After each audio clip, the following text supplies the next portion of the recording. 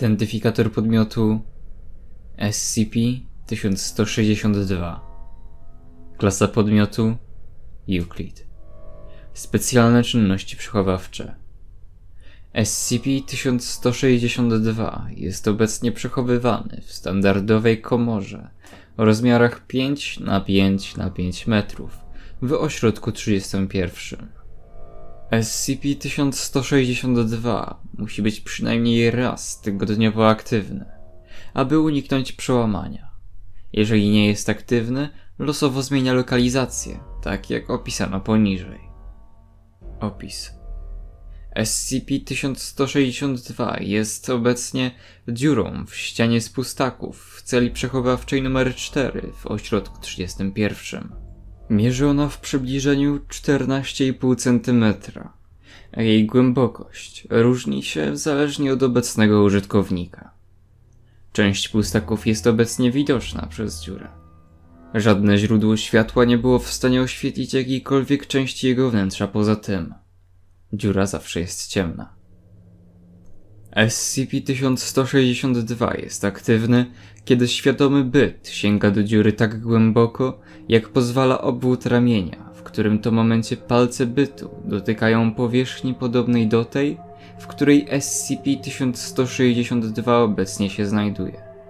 Znajduje on przedmiot mogący zmieścić się przez dziurę poniżej jego palców.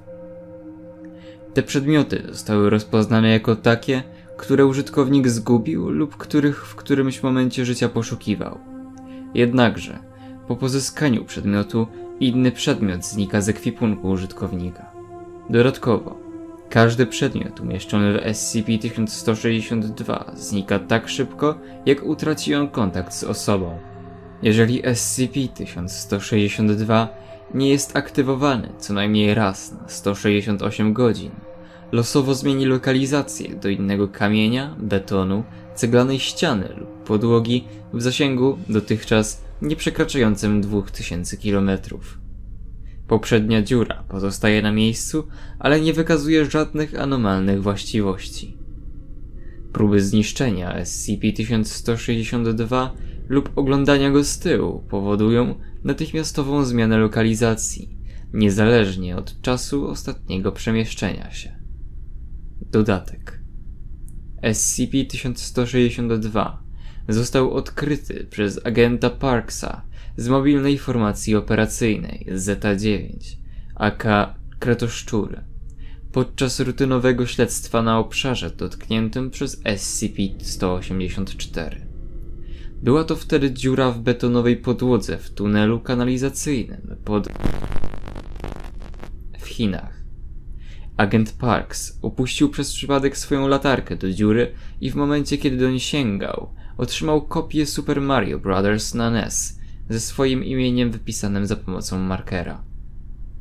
Podczas późniejszego przeglądu inwentarzu odkryto, że standardowa racja żywieniowa zaginęła z ekwipunku agenta Parksa.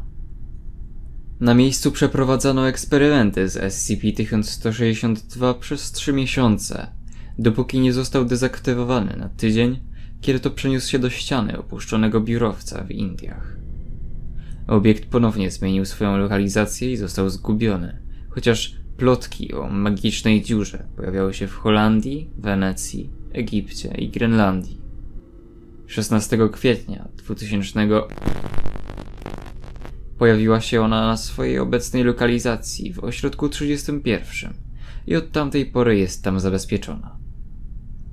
Logi testów. Poniżej znajdują się zapiski z testów przeprowadzonych na SCP-1162. Obiekt Agent K. Otrzymany przedmiot jeden standardowy magazynek M1911A1. Pusty. Utracony przedmiot portfel, ale bez zawartości. Notatki. Stary, lubiłem ten portfel. Na szczęście zostawili mi pieniądze. Obiekt Dr. Clef. Otrzymany przedmiot jeden pakiet strun Aquila ukulele. Utracony przedmiot jeden pakiet Deadario ukulele. Notatki. Cóż, myślę, że to była uczciwa wymiana. Obiekt D4010. Notatka. D4010 nosił tylko standardowy uniform klasy D, bez butów, skarpet lub biżuterii. Nie miał żadnych innych przedmiotów przy sobie podczas eksperymentu. Otrzymany przedmiot jedna półpełna butelka bourbonu Wild Turkey. Utracony przedmiot jeden uniform klasy D. Notatki to było do przewidzenia. Obiekt D4010. Notatka Obiekt był nagi i nie otrzymał żadnych przedmiotów. Przedmiot otrzymany Prawo jazdy D4010 z 1987 roku.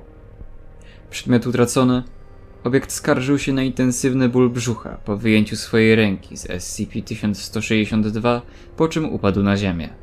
Później odkryto, że zniknęła mu lewa nerka, a wszystkie naczynia do niej prowadzące były równo odcięte. Notatki w przyszłości testy powinno przeprowadzać się z ubranymi, posiadającymi przynajmniej jeden obiekt osobisty testerami. Obiekt Agent G. Przedmiot otrzymany. Przedmiot utracony. Sznurowadło z lewego buta agenta G. Notatki Agenci aktywnie poszukujący biologicznych lub memetycznych środków lub jakiegokolwiek obiektu SCP klasy Keter mają zabroniony dostęp do SCP-1162 bez obecności całej ochrony. SCP-1162 otwarty jest na testy, które może wykonywać każda osoba z uprawnieniami poziomu pierwszego lub wyższego.